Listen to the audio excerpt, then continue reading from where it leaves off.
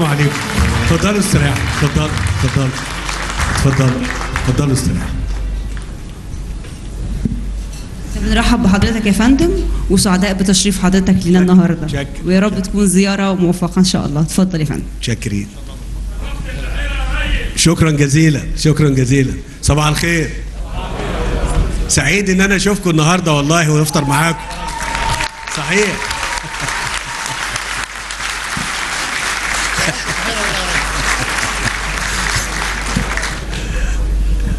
اللي أنا شفته النهارده الحقيقة في القرية يعني بيخلينا نصر على إن إحنا نستمر بفضل الله سبحانه وتعالى في اللي إحنا بنعمله ده لغاية لما نخلص كل قرى الريف المصري. كل قرى الريف المصري. مش بس يعني المرحلة الأولى. متشكر جدا متشكر جدا متشكر. المهم أنا بطمن عليكم الحقيقة. وعايز أسمع منكم. طب أنتوا ممكن تقولوا طب إيه؟ طب طمنا. مش كده؟ طيب. شوف أنا الكلام ده بقوله دايما وقلته من بدري قوي قوي. قلت إن إحنا آه ما حدش يقدر يعمل حاجة لوحده. لا حكومة ولا رئيس آه ولا مؤسسات لكن نقدر مع بعض. نقدر مع بعض دولة كلنا مع بعض شعب. وأنا قلت الكلام ده وافتكروا الكلام ده كويس. قلت ان إحنا يعني التحديات اللي موجودة جوه مصر كتير. وزي ما انت شفتوا لما بدأنا في موضوع حياة كريمة إحنا الرقم اللي كنا لسه كنت بقول الكلام ده لإخواننا ال- المزارعين لما قابلتهم قلت لهم إحنا كنا بادين ب 200 250 مليار مش كده يا دكتور مصطفى؟ والموضوع وصل ل 350 مليار دلوقتي للمرحلة الأولى. فقلنا المرحلتين التانيين هيخشوا في ال- يعني هيكملوا أكتر من تريليون جنيه ألف مليار. فقالوا كتير قلت لهم ما إحنا محدش بيجيب حاجة من ده كله من بلدنا من عندنا من اللي أنا قصدته في في الأول خالص لما قلت لكم إن إحنا نقدر مع بعض. نقدر إيه؟ أنتوا يعني إحنا كلنا أسر بسيطة يعني. وتشوفوا إن لما لما بيكون حد داخل على موضوع بنروح متكاتفين مع بعض ونساعد ال- الأسرة دي. بنت بتتجوز مش عارف آه، أزمة مع حد. فلما بيتكاتفوا بتتحل. لكن لو سابوه لوحده ممكن ما تتحلش. فالنهاردة اللي بيحصل في بلدنا مصر على مدى الثمان سنين اللي فاتوا وحجم العمل اللي بيتعمل لو ما كنتوش أنتوا معانا فيه أنتوا مين؟ أنتوا المصريين. آه، شباب وشابات رجال وسيدات وحتى الناس الكبار في السن. كفاية بدعواتهم الأمور كتير قوي ربنا سبحانه وتعالى سهل فيها. طيب. طب إحنا في أزمة دلوقتي؟ آه. بقى لنا ثلاث سنين؟ طبعا. بدأت بموضوع آه كورونا. وده طبعا كان ليه تأثير كبير جدا على العالم وعلينا. لكن المهم إحنا ما وقفناش. إحنا في مصر ما وقفناش. طب وجات الأزمة الروسية وكان ليها تأثير كبير علينا وعلى الاقتصاد العالمي؟ آه. يمكن تكون بطئتنا شوية يمكن تكون بطئتنا شوية يمكن تكون غلت الأسعار. غلت إيه؟ آه. وغلتها كتير. آه طبعا. بس أنا عايز أقول لكم على حاجة. بس خلي بالكم برضو إحنا في الثلاث سنين دول زدنا 6 مليون. زدنا كام؟ أنا ما أقصدش بالكلمة دي أي حاجة لكن بحط قدام منكم برضو الصورة جنب بعضها. وكنت أنا قلت مرة بس مش هقول ال- الأعداد يعني مش هقول الدول يعني.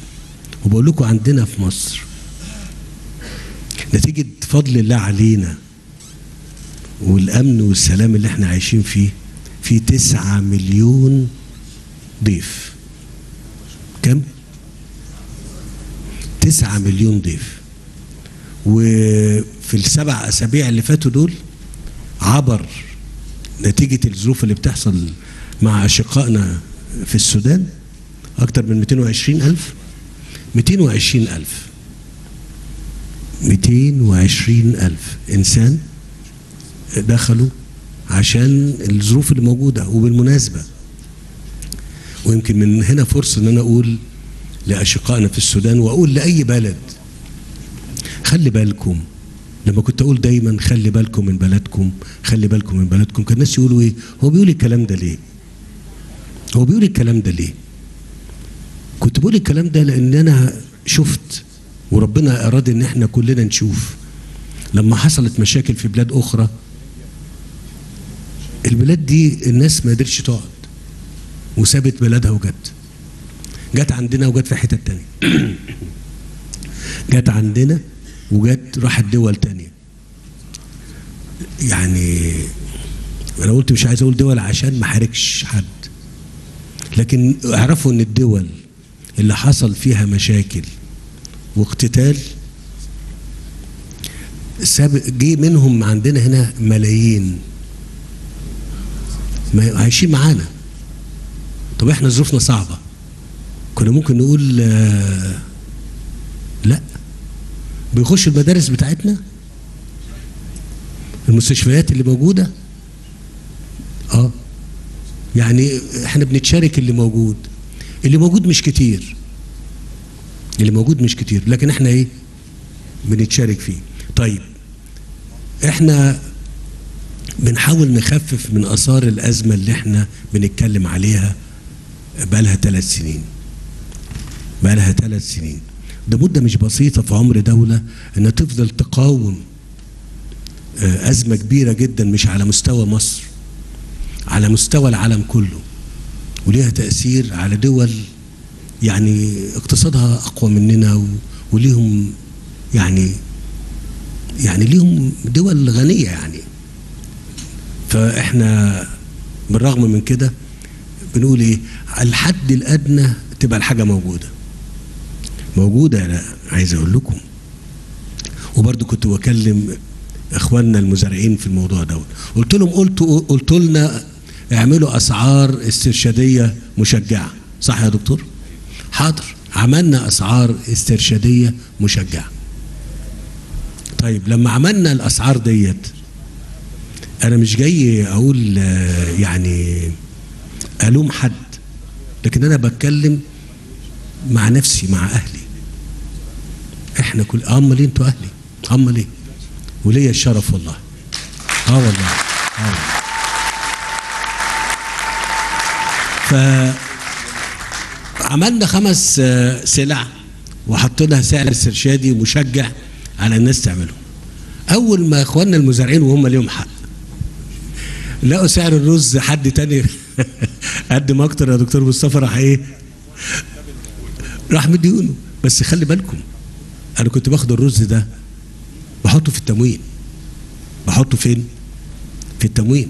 طب التموين بيمس كام؟ حد يعرف؟ هقول لكم. 70 مليون. التموين لكام؟ 70 مليون. فأنا لما كنت هاخد الرز ده بالسعر اللي أنا أعلنته المشجع اللي هو اعتبرته إن هو يعني يشجع المزارعين على انهم يزرعوا. لما لقوا إن في فرصة أحسن عملوا إيه يا دكتور؟ راحوا باعوه. لا بأس. لا بأس. جوه مصر. هيوصل لآخر للناس. بس هيوصل للناس سعره إيه؟ غالي بقى. ما أنا اللي كنت باخده وأبيعه بسعر إيه؟ مدعم لكن لما حد تاني هياخده هيبيعه بقى زي ما اشتراه. يعني أنا كراجل في القطاع الخاص خدت كيلو رز مثلا وصل معايا 17 18 زي ما اجيبه مش هبيعه بقى بنفس السعر وأنا جبته ليه؟ ابيعه ب 20 ابيعه ب 21 زي ما أنا ولا يا دكتور. لكن إحنا كدولة لما بناخد ده هو القمح. ليكوا كلكم بقول.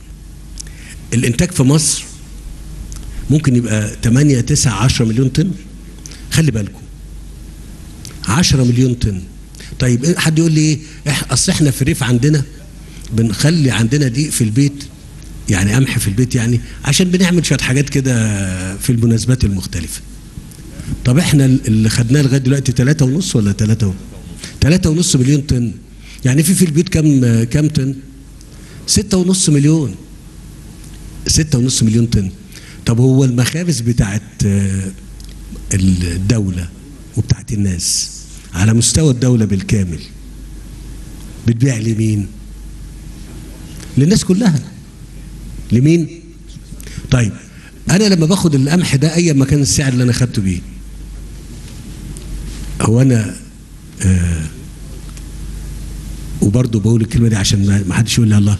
أنت بتتكلم وكأنك أنت صاحب الحكاية. لا أنا بس مسؤول معاكم.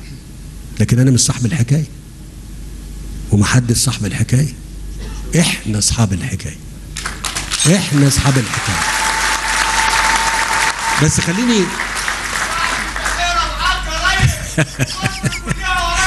البحيرة أكبر أكبر محافظة زراعية. مش كده ولا إيه؟ آه. ف عشان كده بك يعني بركز شوية في موضوع القمح والذره وال... وال... والرز والكلام ده. بس أنا كنت هاخد القمح ده.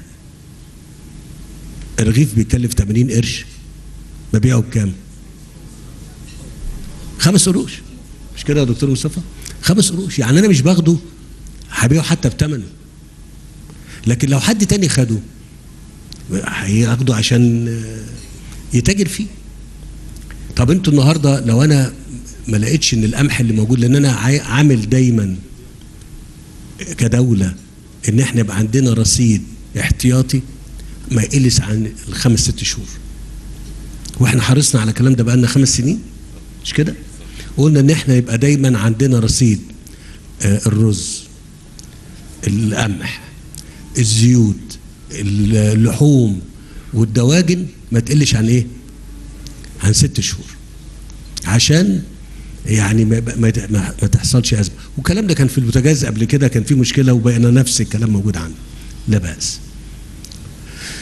فأنا كنت هاخد القمح ده بالسعر اللي أنا قلت عليه ده وبعد كده هديه للناس اللي هو للمدعم بخمس قروش.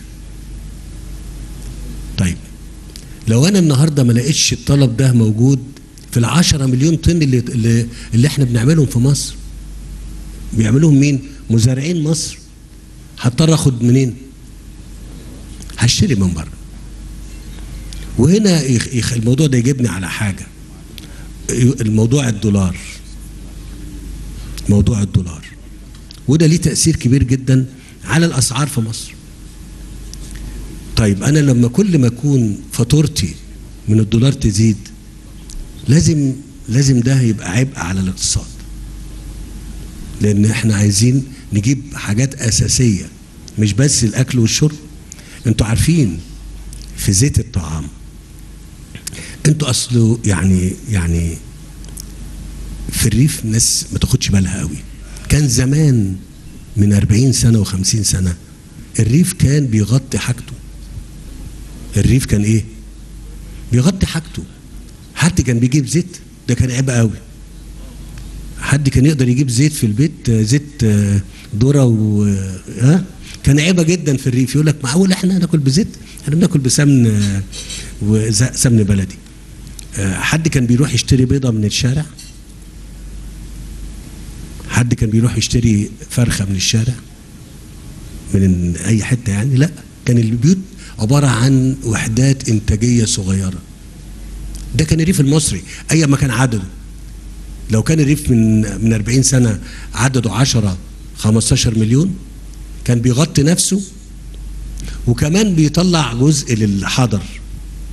لعواصم محافظات ال ال يعني محافظة البحيرة يبقى يطلع لها من جوه مراكز البحيرة يطلعوا لهم بيض ويطلعوا لهم ده وده ده ما بيحصلش دلوقتي بالمستوى اللي كان. ممكن يكون فيه شوية. فبقت الدولة النهارده معنية إنها تغطي كل الطلبات ويبقى الكلام ده متوفر. إحنا تحولنا من حالة كنا موجودين بيها قبل كده لحالة تانية. وبعدين بنقول إيه؟ ليه إحنا ظروفنا وليه الأسعار بقت كده؟ ما أنتوا بتتكلموا أو إحنا بنتكلم على في بلدنا مصر. آه كنا في مثلا لغاية 52 19 مليون 20 مليون. صح كده؟ 19 20 مليون. كل إيه؟ كل مصر. ريف وحضر. 20 مليون 19 مليون في 52 ثم في عهد السادات الله يرحمه وصلنا ل 40 يعني أنا دايما بجيب حلقة يعني توقيتات كده الدكتور مصطفى بيقول لي 82 الرئيس السادات 81 آه، يعني استشهد يعني. 40 مليون.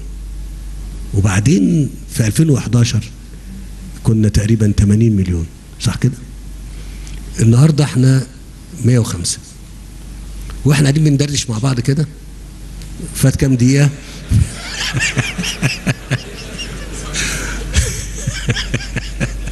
كل 15 ثانية في مولود ربنا يزيد ويبارك يعني. كل إيه؟ يعني كل دقيقة أربعة. لو إحنا بنتكلم بقى لنا 10 دقايق في 40 ضيف جداد جم. كده يعني. فأرجع تاني أقول إن إحنا الحد الأدنى اللي إحنا قلناه إن إحنا يبقى فيه المواد موجودة. طب حتى لو كانت غالية شوية.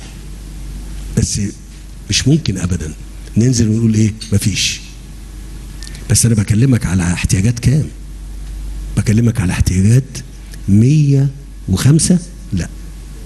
105 زائد 9 يبقى كام؟ 114 ف بنحاول. بس بيكوا وبجهدكم وبدعمكم وقبل ده كله بإيه بقى؟ بدعواتكم. الناس الطيبة الناس الطيبة كتير في مصر. آه طبعا.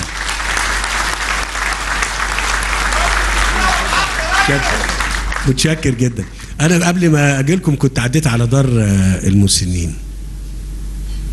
فدخلت آه، أشوف ال- أهلنا الكبار من يعني السيدات وال- والرجال اللي موجودين. أنا عايز أقول لكم أنا كنت في حالة تانية خالص. وأنا والله الناس الكبار دول ليهم عند ربنا مكان. الناس الكبار قوي ليهم عند ربنا إيه؟ مكان. وأنا يشرفني وانتوا عايز أقول لكم ابقوا بصوا على الحاجات ديت لو كان عندكم وقت يعني. هتجدوا طاقة جميلة جدا جدا. بت رحمات ربنا بقى مع الناس اللي هم ال- الأفاضل دول. فطمنوا بفضل الله سبحانه وتعالى. إحنا آه مسيطرين على الأمور. اللهم آمين يا رب. الأمور ماشية. ولازم زي كل حاجة ما بتحصل في دنيا ربنا في دنيا ربنا. كل حاجة ليها بداية وتنتهي. أي أزمة بفضل الله بتعدي. وأنا في يعني كنت منتبه قوي في مسيرة عمري على الأزمات اللي عدت علينا في مصر. وشفتها إنها كانت ساعات بعضها أقول معقول الحاجات دي هتخلص؟ وخلصت. فاللي إحنا فيه ده بفضل الله سبحانه وتعالى وبفضلكم مع بعض يعني. هنعدي من كل الأزمات اللي موجودة. وحالنا يبقى أحسن. أنا أتصور إن أنتم لو تشوفوا آه أنا بتكلم هنا عن الناس الكبار شوية. اللي هم شافوا الريف زمان. شكله كان عامل إزاي؟ هقول كلمة بس محدش يزعل يعني. مش كان الناس زمان بتاكل الذره الصفراء ولا أنا نسيت؟ ولا إيه؟ نعم. ها؟ نعم. مش كانت الذره الصفراء اللي بتتاكل تتعمل ها؟ والشعير وكده. مش كده؟ وكانت يعني يعني طبعا مع الوضع في الاعتبار إن يعني آه الريف كان شكله جميل لأن كان عدده مش ضاغط يعني. لكن دلوقتي آه الدنيا اتغيرت خالص. وده أمر إحنا نحبه ونجري عليه أكتر من كده. هو النهارده لسه كنت بقول برضو لإخواننا المزارعين بقول له النهارده الترعة اللي اتبطنت ديت هتعود على على مين؟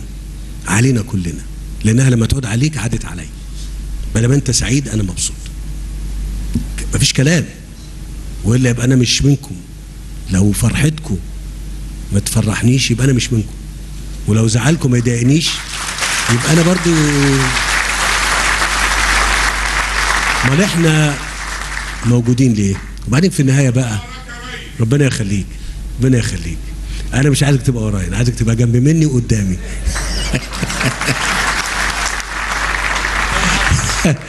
مش عايز أطول عليكم أكتر من كده. إحنا بخير وهنبقى بخير أكتر. وبيكوا وبجهدكم وبتحملكم هنبقى بخير أكتر. ولا ولازم يحفظنا كلنا. يا رب يحفظنا كلنا. شكرين جدا شكرين. اتفضل اتفضل. طب استنى بس عشان يجيبوا لك ميكروفون عشان الناس كلها تسمع. في ميكروفون؟ متشكر جدا. متشكر. متشكر. كتر ألف خيرك. اتفضل. آه عمر هيبة حجاج. أنا مفتش في الجهاز المركزي للتعبئة العامة والإحصاء. أمين حزب حماة الوطن بمركز كفر الدوار. رئيس مجلس أباء محافظة البحيرة الأزهرية. أولا شرف لنا اليوم دول قدومه يعتبر عيد حنح كل سنة هنحتفل به لقدومك لنا في محافظة البحيرة. إحنا لنا طلب عند حضرتك. عندنا 22 فدان هنا في البحيرة متبرعة بيهم واحدة من سنة 65 ونفسنا نعمله جامعة فرع لجامعة البحيرة الأزهرية هيخدم آه، إقليم وجه البحر كله. طبعا إحنا عندنا الطلبة يا ريس بتسافر يا إما القاهرة يا إما أسيوط. فالأرض موجودة وإحنا إن شاء الله أنا واحد من الناس هتبرع بعشرة في المية من راتبي لمدة سنة للجامعة الأزهرية. مش هيكفي. مش أنا لوحدي بقى. مش مش أنا لوحدي. يعني أنا كفرد. آه، من 105 مليون وأكيد حضرتك هتتبرع. أنا ح... على عيني ح... آه، أكيد حضرتك على عيني هتتبرع. ح... على عيني. ح... أكيد حضرتك هتتبرع فيعني إحنا بنطلب شعب البحيرة من حضرتك فرع لجامعة البحيرة الازهريه والأرض موجودة. إحنا قدمنا الطلب لفضيلة الإمام ورئيس الجامعة وجم عينوا المكان. فإحنا بنرجو من حضرتك إن الموضوع دي يعني حضرتك يعني طب أنا هسألك سؤال. اتفضل يا ريس. تفتكر الجامعة دي تتكلف كام؟ طبعا الجامعة دي هتكلف مئات الملايين. كام؟ مئات الملايين. مش أنتوا المفروض ان أنتوا تكملوا الموضوع. يا دكتور مصطفى نشوف الموضوع دوت بس أنا بقول لك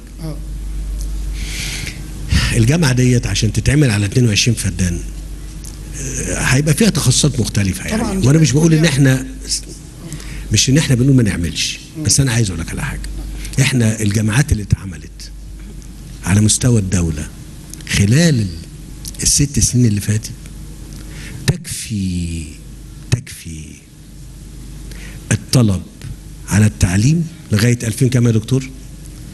2050 كم؟ 2050 2000 أمال إيه؟ لا وأنا عايز أقول لك بس كنا قلت إيه؟ آه بروح. أسيوط. لا أنت عندك في برج العرب في الجامعة اليابانية المصرية اليابانية. وعندك. حاضر حاضر حاضر. يعني حاضر. أنت النهارده عايز تعليم سواء كان أزهر أو غيره. أنا أنا ممكن أقول لك إيه؟ حاضر وندرس وخلاص. بس أنا ما اتعودتش أعمل كده. اتعودت إن أنا أتكلم معاكم بكل موضوعية. أنت هتقول دلوقتي وتقول إيه؟ الرئيس قال. لكن النهارده لو قلنا والجامعة اتعثرت يبقى أنا إيه؟ مسؤولين.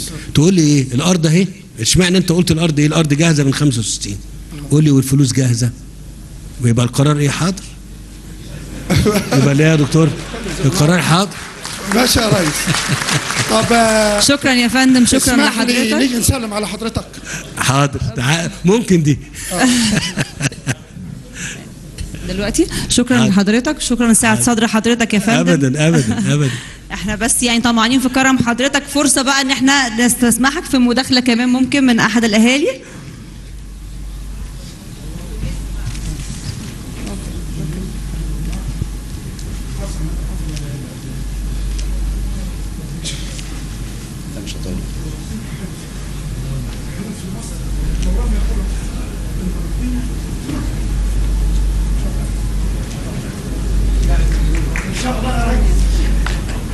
شكرا يا فندم. هستأذن حضرتك في مداخلة كمان بعد إذنك. ماشي يا فندم اتفضل أهلا وسهلا بيك يا فندم.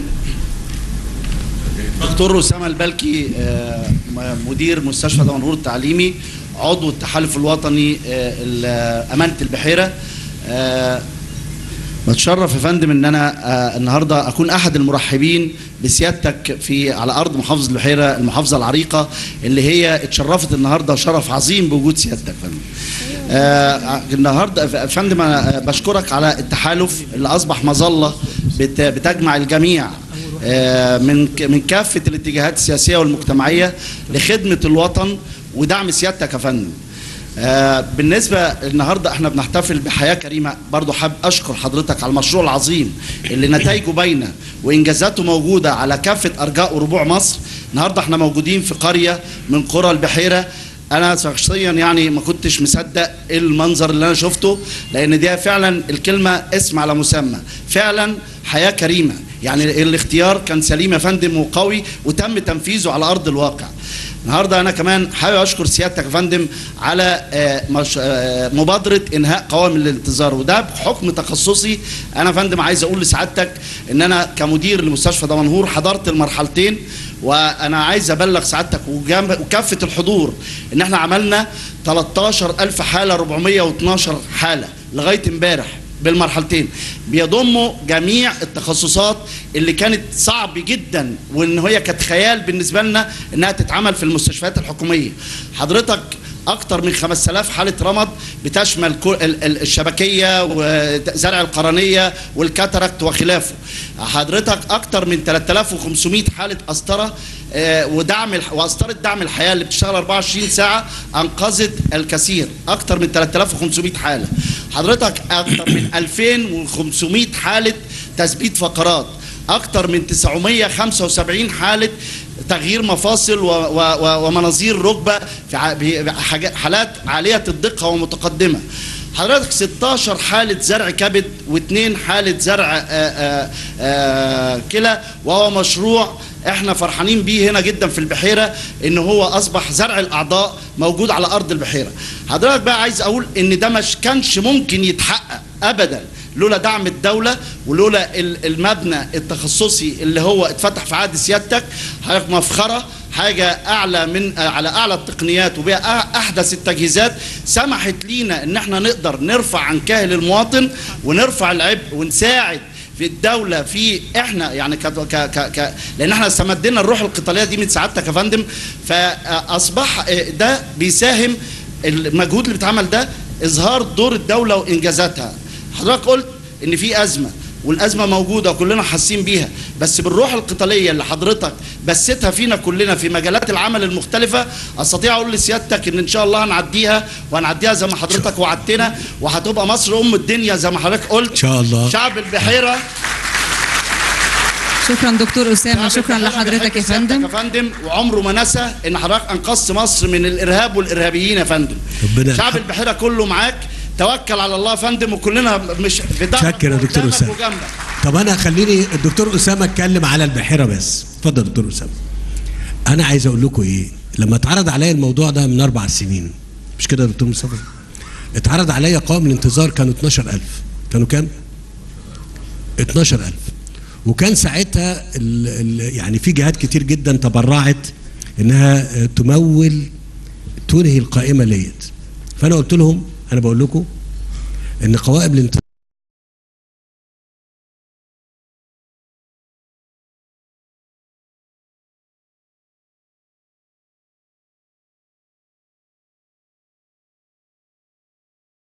عدة مليارات جت من جهات كتير زي الأزهر وزي آه، يعني البنوك ومؤسسات المجتمع المدني. لكن أنا بقول لكم إحنا كنا بنتكلم في أربع سنين في 12000 لما دخلنا الموضوع واشتغلنا عليه بقى 2 مليون في أربع سنين. طب أنا كنت متوقع كده؟ آه. ليه؟ إحنا بنقول إيه؟ الأزمة اللي عندنا أزمة على قد دولة بقوام 100 مليون و105 مليون. فيها طلبات في كل شيء في التعليم تتكلم ماشي في الصحة تتكلم ماشي في الطرق تتكلم ماشي. في السكة الحديد تتكلم ماشي في الكهرباء تتكلم ماشي في أي موضوع تتكلم فيه هتجد. لكن ال- ال- الإجابة يا ترى بفضل الله سبحانه وتعالى حجم عبورنا لل للحاجات ديت معقول ولا مش معقول؟ حاسين بكرم ربنا لينا ولا لأ؟ أنا بتكلم بجد بتكلم بجد. ال- فالنهارده إحنا متوقفين عند ال 2 مليون؟ لا. آه صحيح صحيح. يا رب يستر علينا دايما. يا رب. أنا كنت عايز يعني ما فيش حد حضرتك يعني تنحازي للسيدات طب اتفضلي يا فندم. اتفضلي.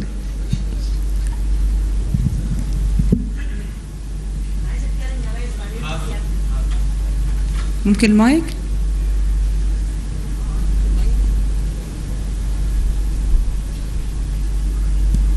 بسم الله الرحمن الرحيم. آه، الأول برحب بسيادة الرئيس البحيرة نورت والله النهارده مع حضرتك الدكتورة أبو سينا محمد جنيدي استشاري نساء وتوليد ورئيس قسم نساء وتوليد مستشفى أبو حمص وأمينة المراه عن حزب حماة الوطن بمحافظه البحيره هو بالنسبة بس للنقطة اللي حضرتك اتكلمت فيها اللي هي تنظيم الأسرة وعدد المواليد وكده. أنا ما اتكلمتش. لا. زيادة عدد المواليد يعني. أيوة. حضرتك إحنا هنا في محافظة البحيرة دكتور هاني جماعة وكيل الوزارة عمل لنا مبادرة يا ريت تطبق على مستوى الجمهورية وهي إن إحنا بنركب ال- الوسيلة أثناء العملية القيصرية وديت بتحد جامد من لأن الست بتولد بعد كده بتقعد تفكر فترة طويلة وكده فالمبادرة دي جايبة نتائج كويسة معانا جدا. يعني أنا عندي في المستشفى حوالي وصلنا ل 97 و98% آه، اللي إحنا بركب الوسيلة أثناء العملية القيصرية. فديت لو طبقت على مستوى الجمهورية أعتقد إن هي هتجيب نتيجة كويسة جدا بإذن الله. و... وإحنا بنحب حضرتك جدا في محافظة البحيرة واثقين في حضرتك جدا ومكملين معاك بإذن الله. وتحيا. مصر تحيا مصر تحيا مصر. شكرا يا دكتوره شكرا اتفضلي. دكتوره أبو سعيد. اتفضلي حاضر حاضر. ممكن حد من الشباب؟ طيب. أنا ماشي. اتفضل. رحبت البحيرة يا ريس وشرف لينا كلنا. متشكر جدا محمد متشكر. بركات أمين الفلاحين بقالي 20 يوم.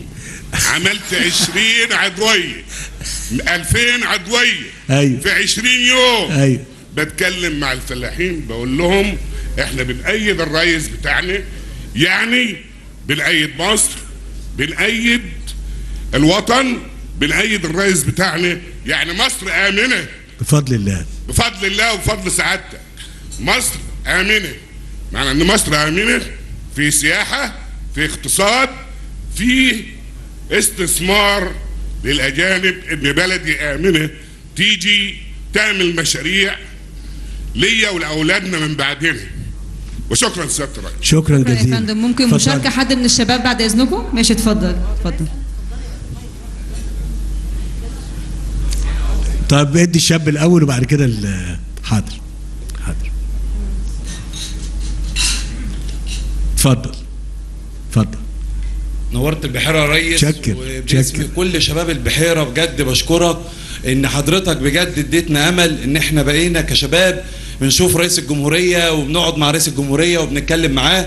أنا محمد الرومي أمين الشباب في حزب مستقبل وطن بمركز دمنهور وعضو نموذج محاكاة مجلس الشيوخ في البحيرة. أهلا وسهلا محمد. نورت يا ريس وأنا بس يا ريس حابب أقول لحضرتك كلمة واحدة. الشباب اللي طلع اليومين دول هو شباب عايز ثورة يناير وعايز ثورة 30 6 شباب بدأ مع حضرتك من البداية وشباب بجد كان من البداية خالص ناوي وحابب البلد دي كلها. إحنا يا ريس عندنا انتماء كبير لبلدنا وبنحب وطننا وعايزين كلمة من حضرتك إنك تطمنا بجد على بكرة وعلى مستقبلنا إحنا كشباب لأن إحنا دايما في ظهرك وفي ظهر القيادة السياسية وفي ظهر الجيش وفي ظهر القضاء وفي ظهر كل مؤسسات الدولة. بس عايز أقول لحضرتك يا ريس ال ال ال ال social media وتأثيرها علينا كشباب إحنا الحمد لله واعيين كويس جدا. في مجموعة من الشباب طبعا بتروج بس الغالبية كلها موجودة يا ريس وخصوصا الشباب الموجود ده عاش وشاف إحنا عشنا قرية زي الأبعادية دي يا ريس إحنا شاركنا فيها. مننا أنا واحد من الناس شاركت في شغلها وشغال في شركة شغالة في حياة كريمة في القرية ديت. إن شاء الله بإذن الله بلدنا هتبقى بينا أقوى. بس محتاجين إن حضرتك تطمنا على مصر بكرة. مصر اللي فيها شباب ناوي يبني مستقبل مصر بجد. شكرا يا ريس. شكرا شكرا محمد أستاذ محمد. حاضر. شكرا طيب سيادة الرئيس. أنا عارفة إنه كلنا كل واحد فينا نفسه يقول كلمة لحضرتك وعدنا حضرتك إن أنت تتكلمي حاضر. اديها لو سمحت الميكروفون. اتفضلي.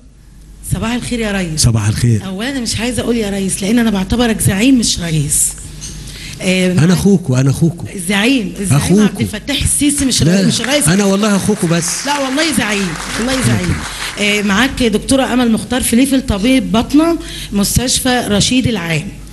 تمام؟ أيوة. آه اولا عضو التحالف أنا عضو التحالف الوطني التنموي بشكر سيادتك جدا على التحالف اللي اتحته لينا التحالف اللي ضم كل المخلصين للوطن والداعمين لسيادة الزعيم عبد الفتاح السيسي. ال- التحالف اللي المظلة بتاعته آه، ضمت كل واحد محب لوطنه دون النظر لأي حزب سياسي أو أي تعصب أو أي طائفية. ده نمرة واحد. نمرة اتنين يا ريس أنا بحب أشكرك على المبادرات الكتيرة اللي عملتها من خلال التحالف مبادرة إزرع مب- م- مبادرة آه، إبدأ. ولكن في حاجة هي قديمة شوية بس أنا كان نفسي قوي قوي قوي أقابلك من سنين عشان أشكرك ووصلك حب الناس ليك ودعوتهم ليك من خلال عملي كنائب مدير مستشفى عزل رشيد. بشكرك على الأدوية الغالية جدا اللي أنت وفرتها للشعب المصري. كان كان في حقن بالجنيه بتتباع بره في السوق سودا ب 50000 حقن الاكتمرا والمونوكلونال تحت قيادة آه، وكيل الوزارة الدكتور هاني جماعة ودكتور عبد الوهاب منسي مدير مستشفى رشيد العام يستحقوا كل تكريم. وحضرتك فوق الكل وفرت مبالغ باهظة. الحقنة يا ريت كانت بت- بتوصل ل 40000 جنيه. كنا بندي كله كان بياخد الحقن دي. حقنتين بس كانوا ممكن ينقذوا حياة أي إنسان. سيادتك كنت عاطي أوامر للمديرية وكنت عاطي أوامر لوزارة الصحة. قسما بالله كان المريض بياخدها في حياته إن هو خلاص هيموت. ده اخر آخر طلقة بقى اديها له ده اللي ممكن تنقذ حياته. والله العظيم يا ريس ناس كانت بين الحياة وفي الموت على تنفس صناعي. شوفي بفضل الله وفضل ما عليك بسبب الحقن ورعايتك والمصروف الجامد اللي الدولة صرفته في ظل ال- الأزمة الاقتصادية اللي كل العالم كان بي بيمر بيها. نمرة اتنين سيادتك الدولة الوحيدة اللي عطت الكل مرتب كامل وقعدته في البيت أيام الكورونا. دول أنا أعرفها زي الإمارات إخواتي مسافرين كان لو قعد ما ياخدش مرتبه. سيادتك عطت له كل مرتبه كامل مش بس كده وبس. وحضرتك كمان ال- ال- ال- العمالة الغير منتظمة صرفت لها برضو مرتبات ثابتة. تمام؟ آه نمرة اتنين يا ريس برضو آه آه موقف بالنسبة للدول اللي أنا عايزه أقولها لك أنا إخواتي لمسوها أول سيادتك لما مسكت زعيم لجمهورية مصر العربية أيام المجلس العسكري ومش عارف مش عارف قالوا لهم آه ما أنتوا لكم حق تتكلموا ما أنتوا ماسككم مين؟ ما أنتوا بقى رئيس بلدكم الزعيم عبد الفتاح السيسي. صورك كانت في كل محاكم دبي. كل محاكم في دبي وكل محاكم أبو ظبي كانت صورة متعلقة من الشعب الإماراتي. أخويا قال لي بقى يحترموني يقولوا لي ما أنت ماسكه عبد الفتاح السيسي. بشكرك على الطرق الطرق اللي, اللي, اللي في بعض من الناس زعلان منها. يقول صرف فلوس كتير على الطرق. الطرق دي يا ريس بتخليني أوصل نص ربع الوقت عشان أروح القاهرة وأروح اسكندرية. أقول كنت باخد وقت طويل. وبعدين الطرق اللي مزعلة بعض الناس. طب ما الطرق دي ما فيش استثمار من غير طرق ما فيش صناعة من غير طرق. ما فيش دخل قومي هيجي لنا وفلوس تجي لنا من غير ما الصناعة من غير استثمار. الطرق أهم شيء. أنا بشكرك على كل حاجة وبحبك جدا بحبك جدا بحبك جدا يا رب. شكراً شكرا استاذه امل شكراً شكرا. لحضرتك. شكرا يا فندم على صدر حاضر. لا إديني فرصة أرد على محمد لأنه سأل سؤال مهم وعلى الدكتوره أبو سينا برضه. بص يا محمد إحنا يعني كدولة كنا حريصين على إن إحنا العمل اللي إحنا نعمله للدولة المصرية ما يبقاش مرتبط بمس- بفترة زمنية مؤقتة. يعني فترة تواجد آه، الحكم بتاعنا. ويبقى كفاية كده. لا إحنا كان كل شغلنا في الدولة المصرية تخطيط استراتيجي يستهدف الدولة المصرية دلوقتي ولل 20 30 سنة قادمين. بدليل أنا قلت إيه؟ أنا عندي جامعات 2050 قلت كده. يبقى ده معناه إيه؟ إن ده موضوع إحنا خلصناه ودلوقتي أقدر أقول إن أنا مطمن إن ما بقاش فيه مشكلة في التعليم مش بس لأنها ما اتعملتش لا في القاهرة بس ولا في اسكندرية فقط. لا دي اتعملت على مستوى خريطة ال- الدولة المصرية. بص يا محمد محافظة البحيرة مرتبطة بوادي النطرون؟ ولا أنا مش واخد بالي؟ بيتعمل دلوقتي يا محمد على الأقل في المكان ده 2 مليون فدان. كام يا محمد؟ طيب البحيرة فيها كام ألف فدان؟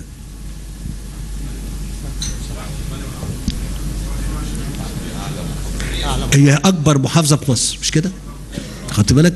طيب وأنا جاي دايما ببقى ببص كده من من الطيارة أشوف حجم المباني البيوت اللي مبنية على الأراضي الزراعية بيزيد ولا آه، واقف ثابت زي ما هو كده. يعني ماشي قلت شوية. لكن ال 2 مليون في الدولار اللي بكلمك عليهم دول يا محمد مفيش بيت واحد. مفيش إيه؟ ولو هنعمل بيت فيه تخطيط عمراني بيتم للمكان ده لو هنعمل بيت هيتعمل في المناطق اللي غير صالحة للزراعة على الإطلاق. صح كده يا دكتور؟ يعني في أراضي مثلا صخرية ولا حاجة في وسط آه، 50 60 ألف فدان نقوم نعمل مركز حضاري معمول على أعلى مستوى. أنا بتكلم في كام؟ في 2 مليون فدان. فين؟ جنبكم هنا. طيب هتقول لي يا فندم طب أنا فين؟ أنا فين؟ هم هيتزرعوا إزاي؟ لا يعني الأرض دي. طب أنا فين؟ أنا يعني طب أنت عملت كده طب أنا فين؟ هقول لك يا محمد الحد الأدنى أنت لو عايز فرصة عمل هت إيه؟ هتجد في في المكان ده. دي نقطة. النقطة الثانية طب في بقية مصر في بقية مصر بلا مبالغة ال- هقولهم بالأرقام عشان آه، في سينا 450 ألف فدان. كم؟ عشان برضو إحنا يهمنا ان إحنا نبقى آه، التنمية في كل حتة وما نقولش في مكان إحنا نسيناه وممكن يعني يحصل له حاجة. سينا 450 ألف فدان.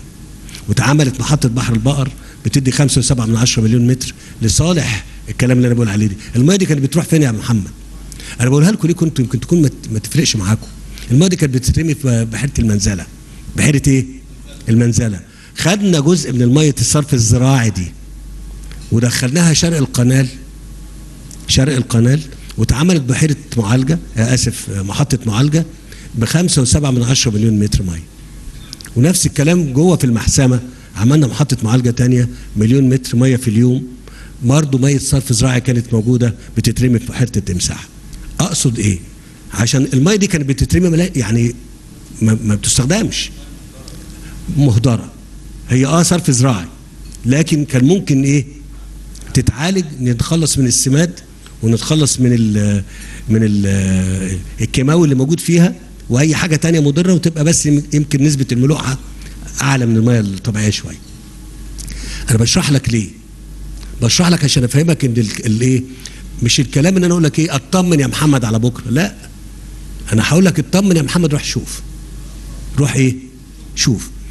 طيب ده سينا. طب إحنا كنا بنتكلم على وادي النطرون. أنا قلت 2 مليون لكن احتمالي يبقوا كام يا محمد؟ 2 ونص مليون. كم؟ آه لأن إحنا بنعمل تصنيف حقلي للأرض ديت عشان نطمن هي المرتبة بتاعتها 3 4 1 كده يعني. لكن بيتعمل بيتعمل. حاجة محمد ما بتتعملش هنا في البحيرة ولا في محافظات الدلتا. إن إحنا بناخد المية عكس الاتجاه. عكس إيه؟ يعني المية المية هنا جاية لكم بالراحة زي ما بيقولوا. مش بيس- بيسموها كده؟ بيقول لك بنروي بالراحة؟ يعني المية جاية من العالي على الواطي. أنا بضطر اخد المية من من الواطي للعالي. ودلوقتي بتتعمل مشروع كبير جدا في اسمه في مستقبل مصر هناك عشان ال 2 مليون فدان دول. بناخد من المصارف الزراعية اللي موجودة في الدلتا عندكم في البحيرة وغيره وبنجمع حوالي سبعة ونص مليون متر مية يوم. واخدينهم عكس الاتجاه يا محمد. عكس إيه؟ بمحطات رفع 15 محطة. كم؟ 15 محطة رفع. كل محطة لوحدها ده كلام يعني يعني مش عايز أقول إيه. لازم تشوفوه. لازم تروحوا تبصوا على الحاجات دي. بين محطة الرفع ومحطة الرفع الثانية في يا ترعة م- معمولة خرسانية أو مواسير توصل المية من ده. لده المسافة قد إيه؟ 140 كيلو. كم؟ 140 كيلو. لغاية محطه هم إحنا لغاية دلوقتي بنقول عليها الحمام لكن إحنا هنسميها اسم تاني. في منطقة الحمام يعني. بتعمل كم متر ميه في اليوم يا محمد؟ سبعة ونص ما تنساش. سبعة ونص مليون متر ميه في اليوم. ها؟ نهر جديد. بس الميه دي برضو كانت بتترمي في المكسب مش كده يا دكتور؟ يعني فاهم يا محمد؟ يعني كانت بتترمي في المكسب أنت هنا بتتكلم على قطاع واحد. قطاع إيه؟ واحد. عشان توصل المية ديت وتعمل لها معالجة تعمل 15 محطة رفع وتنزل المية ديت بعد ما عالج- عالجتها عشان تزرع بيها. هي والآبار اللي موجودة هناك تزرع 2 مليون فدان 2.5 مليون فدان. ده أرقام هائلة جدا. عارف الفدان يا محمد وصل لكام تكلفته؟ يعني هيتكلم لو انت جيت النهارده قلت المليون فدان انت بتتكلم في 300 ألف جنيه الفدان. يعني كام؟ يعني 300 مليار يا محمد. بص لي. كام للمليون فدان. أنا في البحيرة لو عايز أعمل مليون فدان كنت هصرف ربع المبلغ ده؟ لا. خالص. عشان كده بقول لكم إيه؟ الأرض الزراعية بتاعتكم خلي بالكم منها. ده كنز كبير قوي. السكن ممكن يتدبر إن إحنا نعلي فوق اللي اللي بنيناه. أو طب لا إحنا بنعمل سكن عواصم المحافظات جنبك هنا ليه؟ شايفه؟ اللي هو ال ال 10 أدوار وال 12 دور بنعمله ليه؟ أنا بقول إن ده أرحم من إن إحنا نبني على الأرض الزراعيه طيب إحنا قلنا كده طب في توشكا وشارع العناد في قد إيه؟ توشكا وشارع العناد بنتكلم من 800 ل 900 ألف فدان. كم؟ آه. طب ما تقول لي دول بعيد قوي أقول لك ما هو مش بعيد على بتوع أسوان. مش بعيد إيه؟ على بتوع أسوان. قريبين منهم. برضه بيتعمل فيهم آه، محطات رفع وترع وحاجه شوف يا محمد اللي هيحاسب على الكلام ده وشايفه واحد بس. مين؟ ربنا. مش حد تاني. أكمل لك بقى. مش عايز تسمع. أنا ما بقلقش خالص من موضوع ال social media. ليه؟ لأن أنا عارف إن ال social media هي عبارة عن دردشة الناس مع بعضها بس بقت على الهوا. الناس كانت قبل كده بتقعد على القهوة تتكلم صح كده؟ دلوقتي بيقعدوا على الإيه؟ على الفيس يتكلموا ف لكن في النهاية كل واحد مننا في مكان بيشوف اللي بيتعمل. لو حد بيتعامل مع مستشفى والمستشفى قدمت له خدمة كويسة شاف. لو حد بيتعامل مع مدرسة ولقى المدرسة كويسة شاف. لو حد بيتعامل هنا مع مركز طبي جوه قرية زي كده ما كانتش موجودة وكان يروح مستشفى دمنهور شاف. لو كان النهارده الخدمات اللي بتقدم دي في السجل المدني وي وي وي. كان قبل كده بيتحرك يروح حتة تانية. ولقى المركز ده أو لقى السجل المجمع الخدمات ده قدام منه شاف. لو واحد مننا شاف الترعة وهي بتتعمل لها بلاطات خرسانية شاف. الطريق شاف. ف طب أنا بقول الكلام ده ليه؟ بطمنك على إنك أنت بتقول للجيل ده 2011 شاف آه، الأحداث اللي حصلت. صحيح. اللي بي يا محمد اللي بيتولى قلوب العباد رب العباد. مين بقى؟ رب العباد. وكل واحد بياخد نصيبه كل واحد إيه؟ بياخد نصيبه فاللي بيتولى الأمور ربنا. إذا كنا إحنا بنؤمن إن ربنا سبحانه وتعالى ماسك الدنيا كده. مهيمن. مهيمن. فخليك مع مين؟ مع ربنا. دي واحد. طب إحنا كدولة بنجري على قد طاقتنا؟ لا يا محمد. والله العظيم أكتر من طاقتنا. لا لا مش جهد. هو أنا لوحدي ما بيكو هو كل مزارع النهارده زرع آه آه بيكو هو في حاجة لوحدنا ولا إيه؟ هو الطريق اللي بيتعمل ده وهو بس الناس بتتكلم على الطرق ليه يا محمد خلي بالك. لأن الناس اتعودت على إن هو ده اللي يعني لازمته إيه؟ ده خطة. خطة كانت بالمناسبة يعني. عايزين تسألوا بقى وتحاسبوا فيها مين اللي حاسبه؟ الدكتور سعيد. الدكتور مصطفى. لأن الدكتور مصطفى نعم كان ماسك التخطيط العمراني للدولة المصرية مش كده ولا أنا؟ فكان شايف كل الكلام ده ويقول لك إيه أنا كنت شايف عايز أعمله بس مش قادر. عايز أعمله بس مش قادر. طب اديك قدرت يا دكتور جايب لنا الكلام أهو. مش كده؟ لا طبعا. حاضر. هقول لك على حاجة محمد تعرفها وليكوا كلكم في القاهرة حجم الإنفاق اللي كان بيهدر في الطرق 8 مليار دولار سنويا. عايزين نبقى وإحنا بنتكلم على مستوانا كأفراد نبقى منتبهين إن ال- التأثيرات بتاعت أي حاجة أنت بتعملها. الدكتورة أبو سينا كانت بتتكلم بتقول إن مثلا حقنة غالية شوية و... وكانت متوفرة أو كده يعني. ولو نقدر أكتر من كده. الدكتورة أمل معلش معلش معلش معلش ما تزعليش أنا آسف معلش. ما الدكتورة سينا كلمت هنا فمعلش يعني. ف طيب معلش.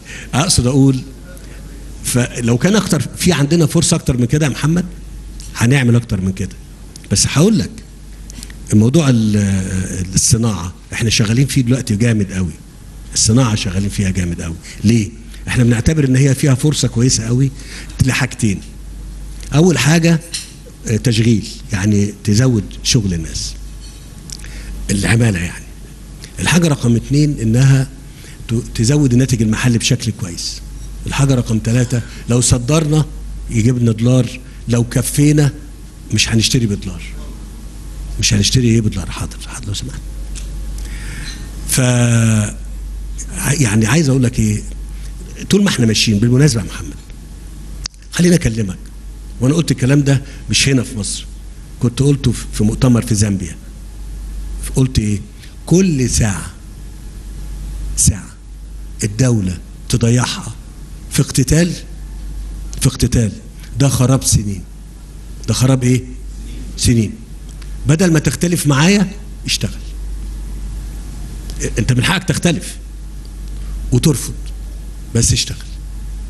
ما إيه ما تحرنش وإيه؟ وتقف. اشتغل.